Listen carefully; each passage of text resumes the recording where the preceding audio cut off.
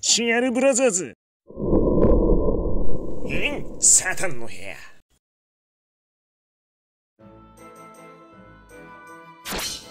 いうわけでは最新情報を紹介していくってやつだぜ。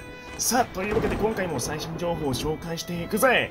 どうよみんなフラパ。もう今も絶賛やっているけども、えー、モンストニュース、マジで楽しみすぎる。だけどよ、その前にまた情報が突然公開されたからそれを紹介していくぜ。モンスト公式のフラパテイ2の方で、途中、このリラックスタイムというのが始まって、そこで、この雪の神さんが、まあ、いろんなツボを押していくと。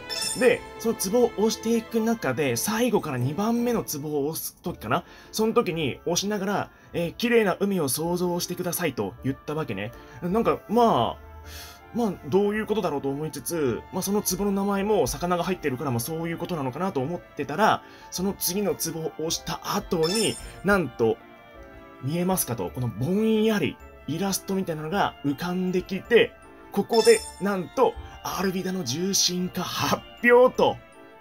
いやー、ちょっと本当にびっくりした。まあ、去年もそうだけど、まあ、こういう発表なかなかいいな。まあ、凝っていると。で、なんとこのアルビダ、俺、重心化予想してたのよ、これ。やったマジでまあ、というのが、このアルビダって、俺、この半年間ぐらい、モンストニュース予想で、結構予想をしてきたんだよな、これ。いや、それで、外したままは結構悔しかったし、何回も予想してきたから、まあ、最後は的中させたいなと思っていたら、当たったこれは嬉しいで、このアルビダーの重心化によって、あるモンスターの重心化遠のいてんじゃないかなっていう意見があるんだけども、まあそれはこのモンタナ、え、同じ闇属性で被ってしまうと、まあ、だけど、この過去のフラッパーのやつ見てもらうと、え、普通に属性被ってんのよ。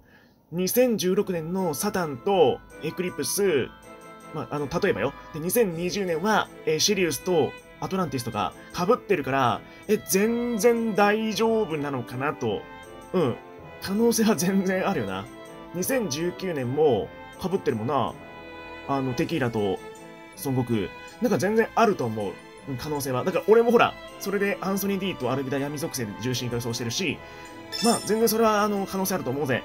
OK。ということで、今重心化が判明しているモンスターを紹介すると、まあ、このオズね、オズ。で、このオズとアルビダ、両方とも、えー、今日のモンストニュースで詳細が発表されるぜ。まあ、それまで待っておこう。えっと、今、詳細が詳しく判明している、まあ、実際もう使える、実装されているのが、えデビルズパンク、あ、ごめん、デビルズパンティインフェルノになっているぜ。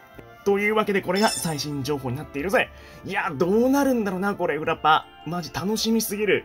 コラボも予想がほんと難しいし、重心化もデビパンが重心化したことによって、ちょ、ソロモンの線が薄くなったりとか、いろいろ言われてるけど、いや、むずいわ。マジで。